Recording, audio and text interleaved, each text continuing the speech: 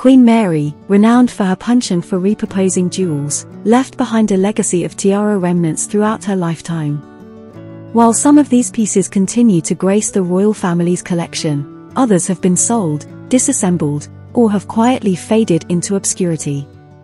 Let's take a look at Queen Mary's long-lost and hidden tiaras. Before we begin, please support my channel by clicking the like and subscribe buttons. Thank you. Let's begin with the tiaras that have mysteriously disappeared from sight. Whether Queen Mary repurposed them for other jewels or they remain tucked away in the royal vaults, their whereabouts have been shrouded in mystery for many years. One such tiara is Queen Mary's Russian bandeau, rumored to have originated from the collection of Empress Maria Feodorovna of Russia, though its exact provenance remains unverified. This diamond sunburst bandeau, adorned with a prominent central sapphire, graced Queen Mary's head during the 1930s and 40s. She occasionally swapped the sapphire for her intricately carved emerald brooch, a treasured gift from the ladies of India at the 1911 Delhi Durbar. Following her passing in 1953, the tiara was bequeathed to the Queen, although Queen Mary never publicly adorned Maria Feodorovna's sapphire bandeau. She often lent it to her sister, Princess Margaret, during the 1950s and 60s, who also utilized the central sapphire as a brooch. However, the bandeau has remained absent from public view for over half a century. Another tiara with a mysterious absence is the Queen's diamond lozenge tiara, passed down to Princess Margaret. Crafted sometime before 1935, the tiara was lent to Princess Margaret a decade later, albeit missing its pearl toppers, for the inauguration of Queen Juliana in the Netherlands. Since then, this petite sparkler has eluded public sightings, with hopes lingering for its preservation within the royal vaults. Moving on, the Westminster Laurel Leaf Bandeau, a delicate diamond necklace conversion, appears to have vanished into the depths of the royal vaults. Originally gifted to Princess Mary by the opulent first Duke of Westminster upon her marriage to Prince George, Duke of York, this precious necklace featured a laurel leaf motif intertwined with larger diamonds. Princess Mary later transformed it into a bandeau-style tiara, enhancing its allure with geometric frames. Sadly, scarce photographs remain of this enchanting piece, leaving its fate uncertain. While Queen Mary's penchant for jewelry redesign suggests the possibility of the tiara's loss, definitive information remains elusive. If not dismantled, it likely passed to the Queen in 1953 and now rests within the palace confines.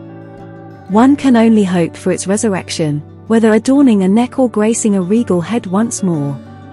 Among the array of tiaras gifted to her on her wedding day, Queen Mary's choice for her nuptials revealed a profound understanding of royal customs. Concealed amidst the blossoms adorning her hair was the Collingwood fringe tiara, a convertible necklace tiara presented by her new husband's grandmother, Queen Victoria. While her selection surely delighted her esteemed grandmother-in-law, the Collingwood fringe tiara failed to capture Mary's enduring favor. Despite being captured in photographs wearing the necklace version of the tiara, Complemented by pieces from the Teck Turquoise suite, there are scant portraits of Mary donning the piece in its tiara form. Eventually, in 1919, she made the decision to dismantle the Collingwood fringe entirely, repurposing its diamonds for her new, modern fringe tiara. It's truly disheartening to accept the absence of this particular tiara. Given to Queen Mary as yet another wedding present, this time by the people of the county of Surrey, the Surrey tiara boasted a distinctive fringe design adorned with floral motifs and round diamonds, each forming an elegant picket of the piece.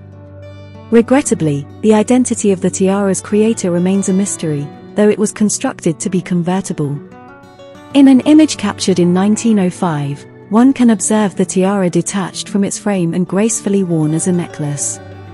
However, in 1913, Queen Mary made the difficult decision to dismantle the Surrey tiara, repurposing its precious stones in the creation of two other magnificent tiaras.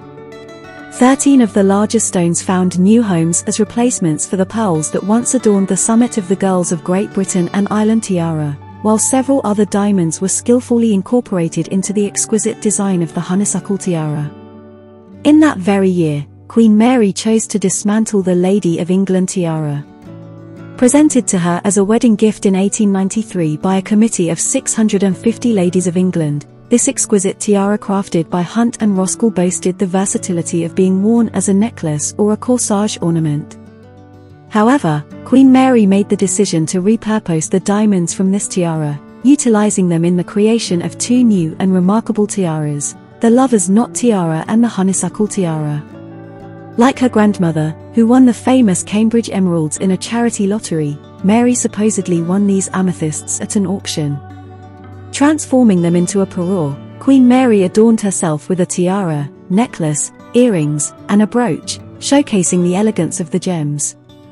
Upon Queen Mary's passing in 1953, the amethyst tiara and parure passed on to an undisclosed member of her family, potentially either the Queen Mother or Princess Margaret, although there are no images of them wearing it. By the 1980s, the parure found its way into the possession of the Ravel family, and it was donned by Rorik Ravel's wife on their wedding day in 1983.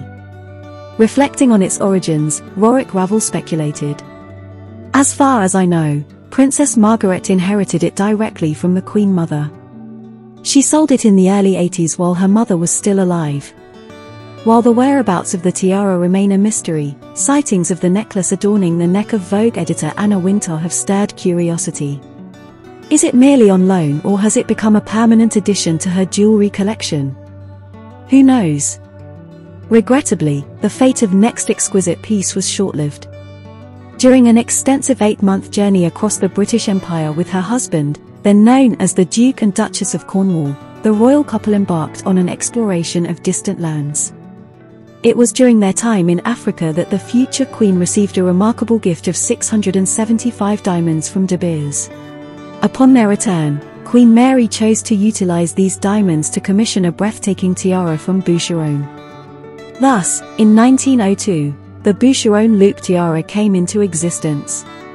This remarkable piece featured upright diamond loops, adorned with individual diamond elements that appeared to float, delicately held together by thin wire. The resulting effect was nothing short of magical, albeit incredibly fragile. Unfortunately, approximately a decade later, Queen Mary made the decision to dismantle the tiara, repurposing the diamonds to create the magnificent Delhi Durbar tiara. The Cambridge Sapphire Parure tiara, crafted by unknown artisans in the latter half of the 19th century, holds a rich history. Queen Mary inherited these precious sapphires from her aunt, Princess Augusta, Grand Duchess of Mecklenburg-Strelitz, who, in turn, received them from her mother, the Duchess of Cambridge. In 1934, Queen Mary bestowed the tiara upon her daughter-in-law, Princess Marina, Duchess of Kent, as a wedding gift for her union with her son, George, Duke of Kent. Over two generations, the Kent family cherished the tiara, but it was sold some time ago by the present Duke and Duchess of Kent. They auctioned off the original tiara, adorned with sapphires at the top, alongside the necklace, stomacher, and possibly one bracelet or brooch. Despite parting with some pieces, they chose to retain others, including the newly sapphire button tiara.